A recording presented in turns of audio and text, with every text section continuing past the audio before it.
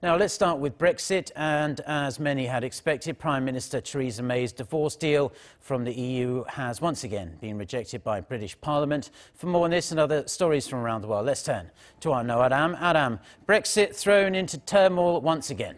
That's right, Mark. This was the second time May's Brexit deal has been rejected. The result of Tuesday's vote was 391 to 242, a slightly slimmer margin than before, but a defeat nonetheless. MPs are still not happy about the terms, especially on the contentious Irish backstop issue.